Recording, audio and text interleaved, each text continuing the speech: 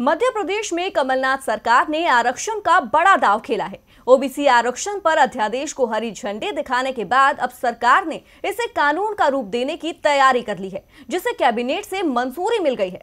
आरक्षण के साथ ही कांग्रेस सरकार की कैबिनेट बैठक में कई ऐसे फैसले भी लिए गए, जो युवाओं के लिए बड़ी राहत है, जिससे सरकार पर आई आफत कम हो सकती है। राजनीति में आरक्षण ऐसा हथियार है जिसका इस्तेमाल कर सियासतदान, जनता का मन मोहने के साथ विरोधियों पर निशाना लगाते हैं। पिछले कई दशकों से आरक्षण के बहाने राजनीतिक रोटियाँ सेकने की प्रथा चल रही है। जिसे आगे बढ़ाने में न बीजेपी पीछे है और न ही कांग्रेस।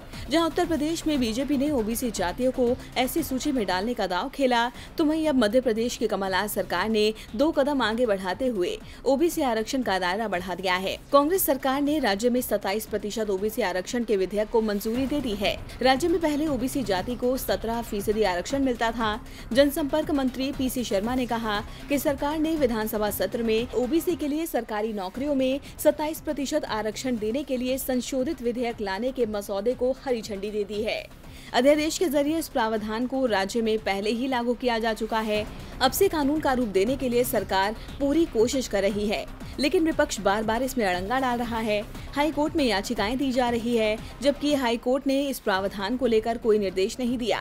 आरक्षण का दांव खेलने के साथ ही सरकारी नौकरियों में सीधे भर्ती वाले पदों के लिए आयु सीमा 35 से बढ़ाकर 40 वर्ष कर दी गई है। राज्य के अनुसूचित जाति, जनजाति, अन्य पिछड़ा वर्ग, शासकीय, निगम, मंडल, स्वशासी संस्थाओं के कर्मचारी, नगर सैनिक, निशक्त जन और महिलाओं को पाँच साल की छूट मिलेगी। सूबे की कमलनाथ सरकार कैबिनेट बैठक में न सिर्फ़ युवाओं पर मेहरबान हुई, बल्कि छात्रों के लिए भी बड़ा ऐलान किया।